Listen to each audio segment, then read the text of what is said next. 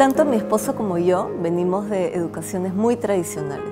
Para mí era realmente eh, aburrido ir al colegio y seguir el estricto sistema. Porque a mí me decías que hay que ir al colegio y decían, oh, y el día que me decían que no hay que ir al colegio, ¡ah! saltaba en un pie. Sí, había una frustración grande al ir al colegio, ¿no? Habían cosas que disfrutaba, pero más disfrutaba el recreo que las clases.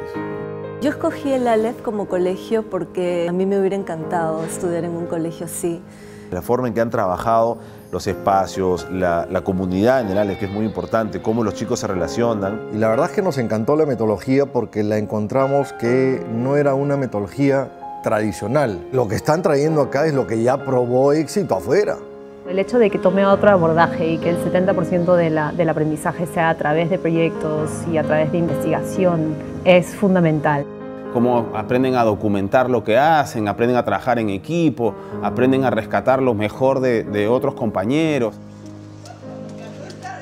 El ALEF propone una manera distinta de entender al ser humano y entender su desarrollo. A mí me gusta, yo veo que mis hijos van felices al colegio. Cuando yo le pregunto qué está haciendo, te cuenta con pasión lo que está haciendo.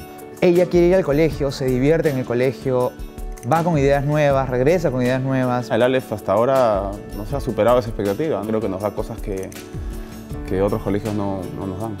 Y lo que yo he podido experimentar en relación a mis hijos es que cada una de las personas que se relaciona con ellos en el Aleph sabe muy bien quién es Joaquín, qué lo motiva.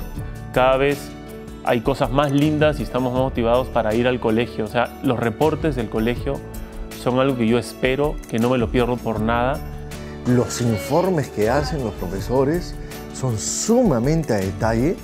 Y yo he comenzado con mi esposa a decir, oye, realmente para hacer este tipo de informe tiene que conocer al alumno. Creo que el ALEF me da la confianza de que, de que está preparando muy bien a mis hijos para el futuro.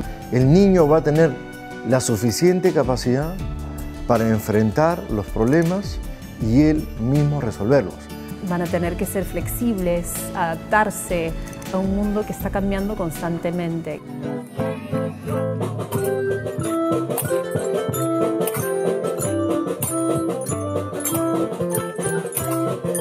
Mis hijos cuando terminen el colegio van a empatar con un mundo mucho más complicado del que me tocó a mí y van a estar preparados para enfrentar ese mundo y para ser exitosos en ese mundo.